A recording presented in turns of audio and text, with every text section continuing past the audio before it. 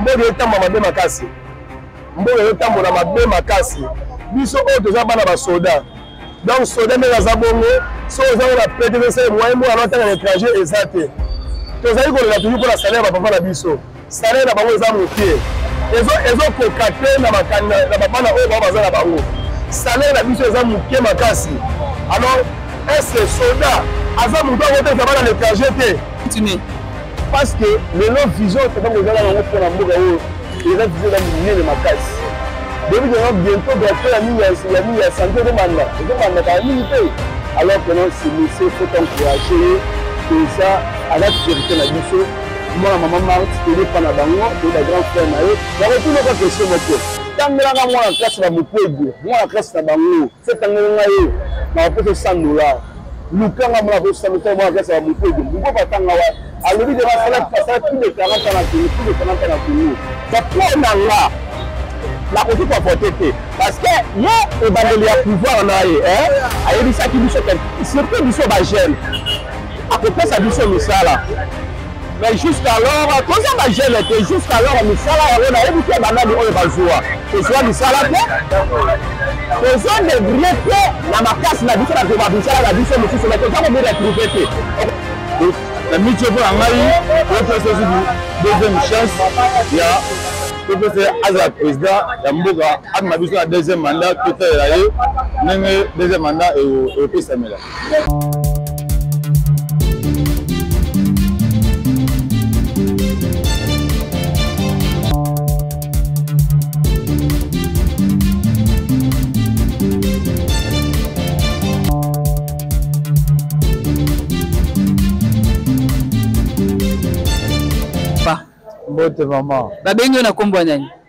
Nabiangami na kombo ya Alain David.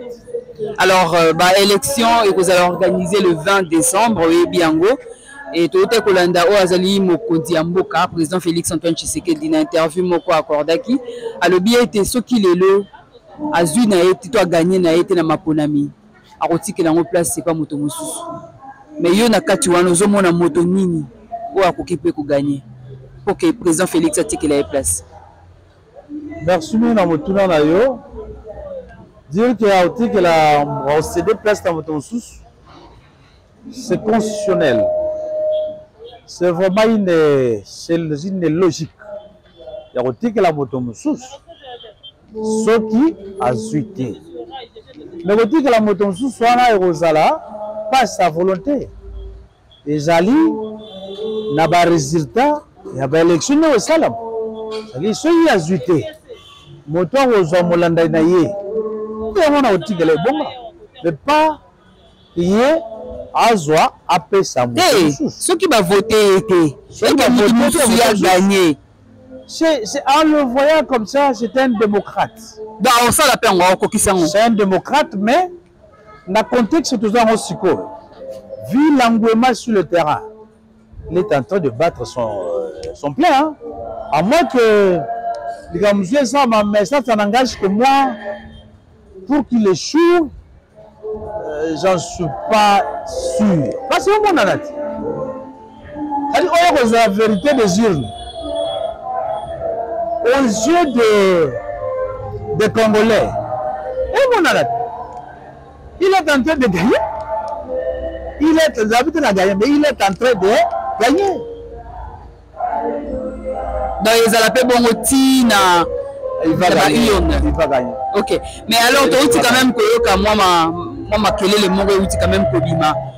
oyo bakandida mosusu bazopropose na bakandida mosusu 500 000 dollars mpo na koluka kobenda bango baya basoutenir ye yo omoni yango ndeni bon en politique tout est permis hein? tout est permis et puis euh, l'abondance ne vient de nulle part il est abondamment aimé qui est abondamment aimé lui Tshisekedi le président Tshisekedi soki babakisi yango mpe mabe te tout comme les autres peuvent le faire ce permis ce n'est pas exclu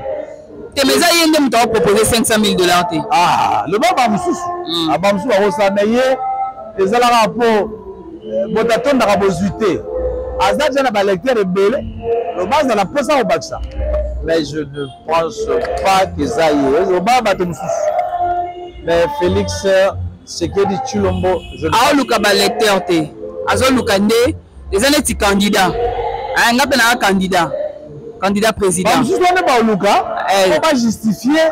nde tomoni ndekodelis esanga ke pa moïse katumbi ndeke pa moïse katumbi sana ngashi koli me nde nakomonaka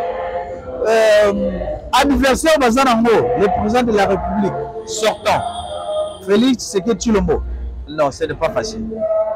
bakobattra ye te hmm, je ne pense pas ata basangani avant nzambe alola asala abongola makambo mais soki nzambe abongo nzambe alola abongo makambo te c'est félix qui va gagner merci beaucoup merci ndeko mbote na yo mbote babengi yo na nkombo ya babengi nga na nkombo ya elkade kalenga alors ndeko yo ezali kotala maye ezali koleka na politike na mboka na biso maye etali politike naloba yango bongo na lingala eh, surtout na bandeko nde ba se déployer sur le terrain mpo na kobattre campagne na bango tomoni bacandidat nyonso tout oyo baza bacandidat président alors euh, totandaki tolandaki ndeko félix antoine tshisekedi alobi mpo na ye soki lelo aperdre eke bino bopesi ye bavoi na bino te en tout cas c'est la démocratie qui va gagner akotika na ye ebonga na ye tranquillement donc ndenge boza wana bokovote ye to bokovote ye te mpona ye tovote ye mpenza massivement tovote ye mais soki tovote ye te soki aleki te eza moyen ya topesa baargument mosusu te oyo toza na démocratie il faut atikeli baninga mosusu oyo akozala na droit ya apase wana omoi quand même tomonake président na biso kote wana azali na ye claire eza teke moto azolinga ayiba ayiba lisusu voir non azali claire mais eza na moto mosusu azotumisa tumisa ye te malgré wana tozokomisa eza réseau sociaux bakomi kaka me toza na verité te me verité ekozala na urne verité eza na urne me toyoki mpe mwa lisolo moko boye bapaya mpo bato bazoloba telema mpe mwa mingi nalobi teke bapaya bo excuse nga quand même mpo na langage wana me toyoki mwa lisolo moko oyo ndeko devos kitoko ye bapesi témoignage alobi ete eza na bakandidat mosusu balingi basomba bakandidat mosusu moyennant 5000 dollars non bamakambo wana eza 500 000 dollars eza likambo ya 500 000 dollars te donc eza problème ya bato mosusu basede baplace quoi mais balo toyokaka son ya 500 000 dollars wana mais tozala kandida moko basomi nano bapesi bambongo wana te ya solozala na baconfirmation te ya solo wana oza na confirmation te baoyo nyonso te bake na ngambo wana wana confirmationozana toyebi ka ndeko moko ndeko soki nakosi te kombo na ye ndeko frank diongo nde azalaki na présidence mais aretiraki na ye akoma na ngambo ya moïse na moment oyo moïse moto apia bambongo moïse nde azwaka ndeko mm, frank diongo ye moto apia bambongo peut-être toyebi te toyebi osomba bakandida te tosite kombo na ye te peut-être toyebi te alors bon euh, ota déjà korépondre ngai na boyi te Mais ndenge makambo ezali kotambola na mboka na biso, est-ce que ozali komona niveau ya vie ya ba Congolais ezali vraiment malamu? Non, pour le moment na façon tozo kende vraiment vie eza critique. Euh, makambo ezotambola bien te po awa tokoki kozela ba nouvel ordre ya tozwa mokonzi ya sika nde tomona mpenza makambo ya bien ndenge tozela moto ya sika tozela moto ya sika awa ya nani toyebi na komona ete baza ebele baza na course nani baza na course baza ebele donc ça veut dire que bato wana mpe bakobattre bango félix euh, non ce n'est pas na bebe bakobattre ye na bi baza ebele o oh, papa mais toza nayo na motu totyeli te oh. mais yo lobi epaye eza na état critique oui donc pendant régime afaci eza na état critique bongo te eza bongo toza na moto mosusu akoya remplace epa memi mboka na biso likolo wi nanu toyebi moto yango te oh.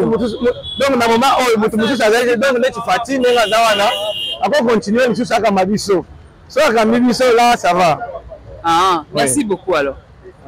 oh, papa mbote mama babengi yo na nkombo ya nani nkombo na yo eza monsieur junior communicateur Alors monsieur Junior, olandaka quand même maye eza koleka na mboka surtout maye maye etali politique. Wawa. Wow, wow.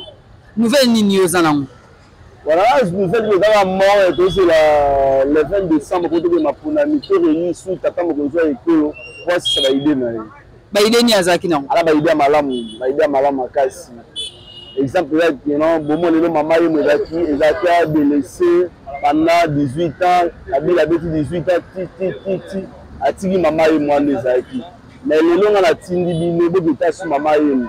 ka bobeta mama yenu bopesa sura po boyena oyo mama eza ya sura ya lokuta lelo yuare na ofali abeti na, na paris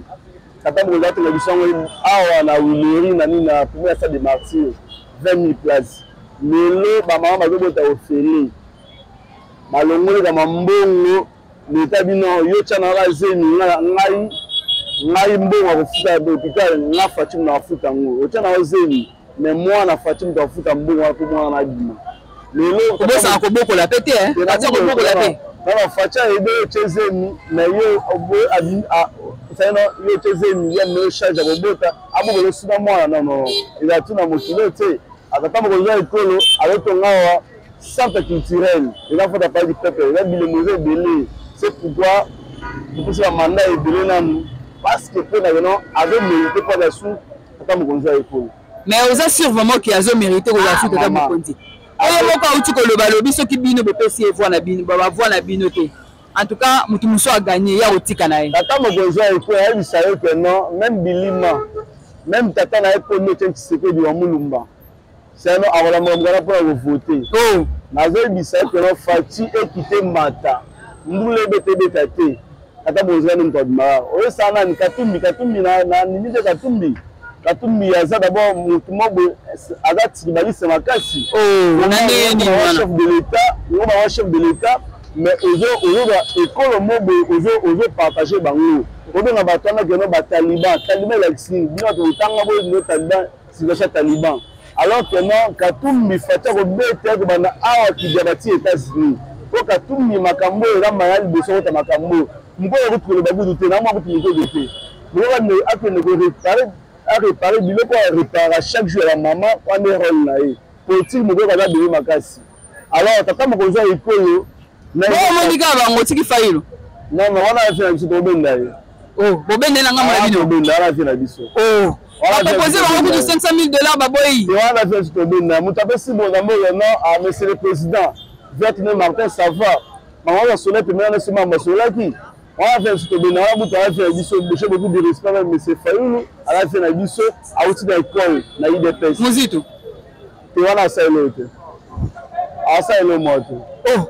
nazoyebisama awasa elo moko te alors que non nazosela bino peuple congolais tovote sur faci massivement tovote tata mokonzi ya ekolo parce que aza na vision malamu akosa mpo na mboka oyo faci aza le seul motu oyo akolongola mboka na bowumbu tozali na ngo pana 18 ans oyo kabila anyokoli biso oyo katumbi azala gouverneur na mboka oyo katumbi azalaka na gouverneur ya mboka asali oyo na malonga katumbi akoma commerçant partout na bani ma petite moyenne entreprise kaka mesi katumbi katumbi aza na eloko moko te akoyo mpe biso yawa extraordinaire acani ya mboka oyo kamisi na katumbi aza un grand tribaliste katumbi un grand tribaliste moto ezomona wana eh, ah, ah, félix nde tribaliste makasi tata mokonzi ya ekolo aatavaya na bemba lelo directeur ya cabinet nini tata mokonzi ya ekolo anani aza moluba te je pense lelo tozwi koyo toyona portpawole ya nini ya tata mokonzi ya ekolo aza moluba te todi premier ministre sama lekonde aza moluba te alors que le président arensemble bikolo nyonso wana tupo tosanga to travaille elongo mais alors soki yo lelo okena mese katumbi na mese mukwege na blok matata mata pede ayo kotika na yo oza mal réputé oza mal réputé moto avota aza te mata mpo otika na oza mal réputé eloko mbala liboso bamona na congo oyo nani 400 eh, millions ebongwani ebongwani université baata pone mba liboso na mona eloko wana oza esi tovote yo tovote tovote obima président monsieur il faut avoir beaucoup de respect nsaka le congolais ozaka ministre awa ah, ozaka ministre ya finance awa elongo osala biso bacongolais se pourquoi nayebisa bino kene motu ko mataponi wana boye bozala vigilant na ye meme badepute ya kala kwa motu kwa daniel safu ah moto afinga bamama daniel safu afinga bamama keno babetise mosusu nakoloba ngo ana teve te daniel safu afinga bamama me lelo apostele lisusu mpo na keno aya lelo keno tovote ye daniel safu ana un grand tribaliste D'ailleurs, ça va nga kabola biso ba Kasaïens na biza biso ba Swahili pona kokabola biso. Alors, nazo senga te pe Congolais bo vote Daniel Safu te, ce message n'est pas modèle mpona mboka na biso na mwa maso pisel vangu ezalaka na otika yo te pisel vangu yo kofotaka na 2018 ya mpona grâce ya tata mokozwa ekolo nayo pisel vangu ozwi minduki obalusi otalisaka ta félix soko na makasi fo te foto katumbi fo te foto katumbi na pano na yo mpo na tie katumbi te pani totinda bajeune ya kusali fango alors que en tant biso ba peuple congolais tozo toya mo vigilant avec tous les décisions oyo bazo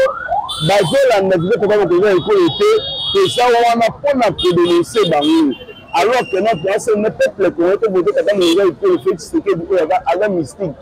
Dio na la bembe ya poison. Dio wana isape na Dio wana de faux à la mystique papa. Merci beaucoup.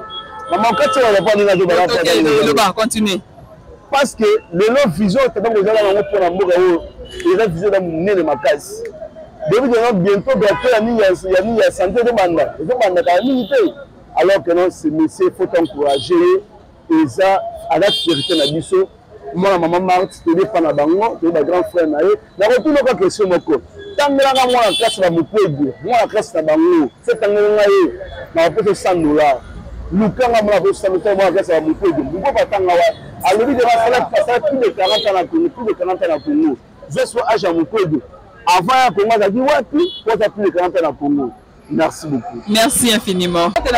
Mbote mama. Babenga na kombo nani? Kombo na ngai Edinda Fula. Alors papa, na ndenge ozotala maye mayi politique ya mboka na biso ndenge ezali kotambola, yo ozomona yango ndenge nini? Mboka etambola mabe makasi. Mboka etambola mabe makasi. Biso oyo toza bana ba soda. Donc soda ndenge aza bongo, so oza na PTVC moyen moko anatanga na étranger eza te. Tozali kolela toujours mpo na salaire ya bapapa na biso. salaire na bango eza mokie ezokoka ezo te na babana oyo bango baza na bango salaire na biso eza mokie makasi alors ese soda aza moto akotelisa bana l'étranger te kaka bapolitisien bakotelisa bana l'étranger bapapa bazalaka bongo pete na kala bango na salaire avant lelo bakomi ti bale 15 bale 25 bakozwa mbongo te mpo na nini mosani baosala nzela donc il faut kaka biso tosala kaka politike mpo tokolozwa mbongo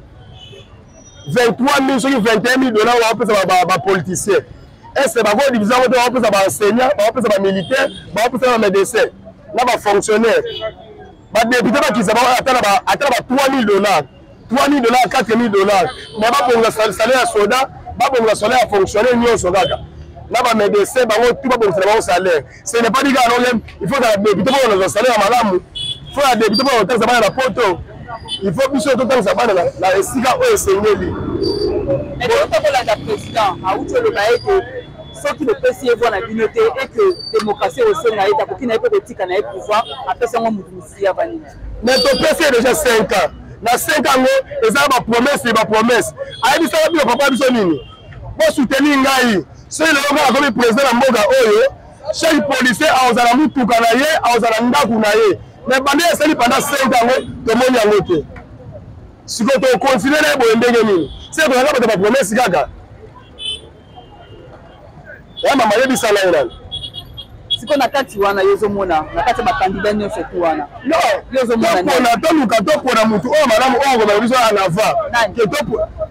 mais toyebi sio na biso tokosala yebi sio toyebi moto nde tokopona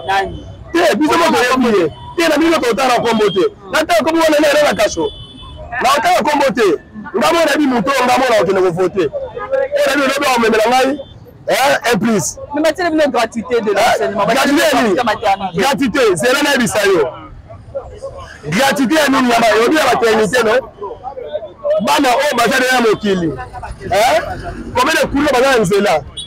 oyo baza esika mpe maolala te mpo na nini te bango gouvernement basali bango ata basali bango ata nini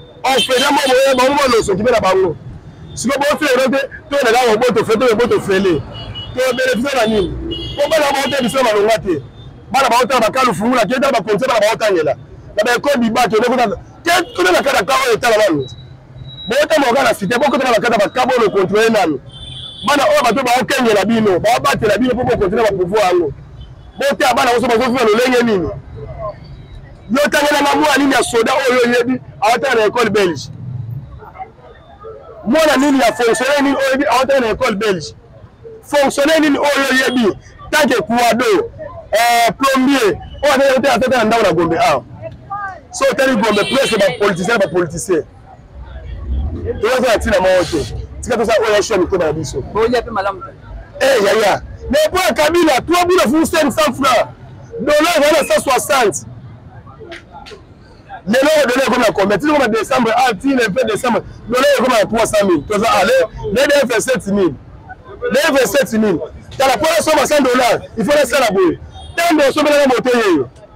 moto abimisi nga na nzela aza mwana soda te eh. mais araisonne nga ndeko na ye asombeli nga moto nabimi na nzela na osala eza bitala nguba te mpo misala eza te yaya nasala 18 ya chômage nayekoya plus 5 ya chômage c'est bombe 23 ans na 23 ans soki na bazo 5 ans ya inutilement natangi esika moko te ya malonga natangi na ekole liba nasisi na ekole liba nayaka okasion ya kotala ta na université awa te mpasi mbongo eza te papa nanga fonctionnaire azwaka soki papa bozwa kome 200 mille no 200 mille pete malongo eza te ya nakosala nini nakosala nini aloshoa nini oyo nga nakosala nakosala sho mabe te mpona yeba shwa nini oyo nga nakosala mpo lobi ememela ba un plus Oui, mbote mama. Babengi na kombo ya Bon, nga na bengami na kombo ya Jean. Ouais. Alors monsieur Jean, na ndenge ozo tala mayi politique ya mboka na biso. Couleur nini ozo mona ngo? Ekende wapi? Mboka oyo. Mama moto. Mabe makasi donc eh, mboka ezokende mpenza mabe mabe makasi na nyonso parce que biso na regime ya nga neti ngai eh? nabotama na regime ya, ya mobutu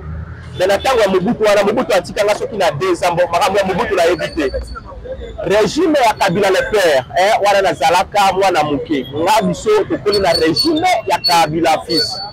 me na regime ya kabila fils eh, quelque soit dollar ebandaki komata me remarke ezalaki te na ndenge nini dollar ebandaki komata me biloko ya kolia ebandaki komata te okomona balobi kendo dollar ekomi par exemple na 120 me oke kosomba kwanga Pole eza kaka a meme position pole ezo mata te soso ezo mata te mais lelo ekomi par exemple soki balobi ke no dollar olali olamuki dollar emati na kwanga biloko ezobima na mboka na biso ezo mata le même jour neti bakwanga babiloko mosusu basafu biso moko nde tozoproduire babiloko wana mais pourquoi dollar eza bambongo ya mindele mais lelo soki balobi keno dollar emati na kwanga na loso biloko ezomatela na bilanga na mboka na biso ezomata est ce que biloko wana engo ekotaka libanda Oyo ovote te. Olobi? Ovote Felix Antoine Tshisekedi te. Bon, ngai mpo na nga, eh? Souci na nga, kovote Felix il n'y a pas le problème, na kovote ye te. Mais mpo na nga, nakoki kovote te. Parce que ye ebandeli ya pouvoir na ye, eh? Ayebisaki biso que surtout biso ba jeunes akopesa biso misala mais jusqu'alors toza bajeune te jusqu'alors misala yango nayebi te banani oyo bazwa tozwa misala te tozodebrie te na makasi na biso nakoba misala na biso mosusu mai toza komiretrouve te okokosala mosala ozwi mwa fra na ye mai mpo okende zando osomba mwa mbaci bazosengaka dollar osomba mwa eloko moko boye bazosengaka dollar mai ata ozwi fra ntango okobeta na dollar donc eloko ya te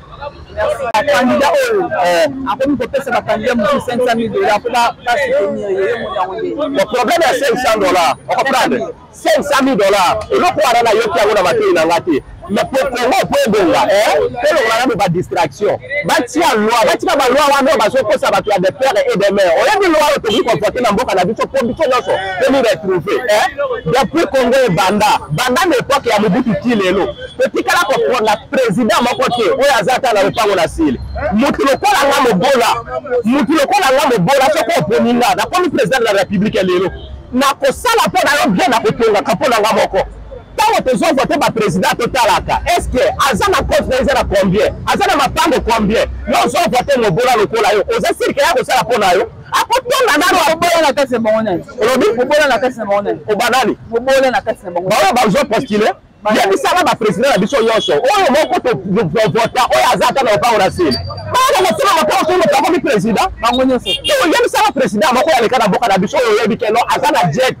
aza na motuka bango nyonso tu tovotaka bango kaka mababola apres nde bakomi na mbongo mokolo tokozala na president oyo aza riche par exemple baniveau ya bakatumbi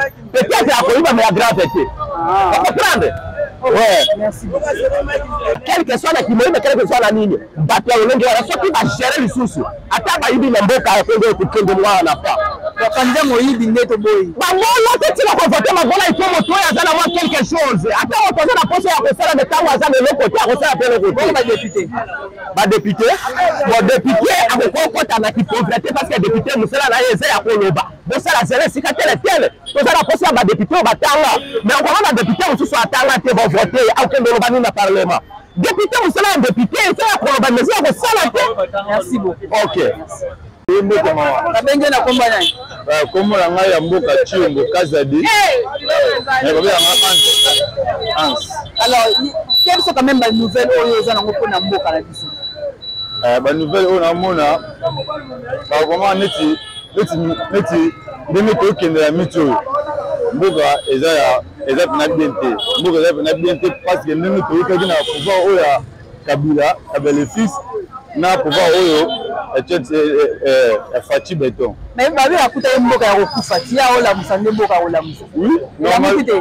Peno mama mboka pena pena lamuki pena te mais namoni mwa mwa changement ça va mwa changement par rapport à nanga époque ya Kabila le fils na na pouvoir ya Fatshi Beton mwa changement mwa donc yo opesa ye voix na yo pena neti nga mpo nanga pena boye élection oyo toleka élection oyo toleka élection toleka avotaki fayulu mais temali moto azwaki te toyokozwa mwana mboka Fatshi Beton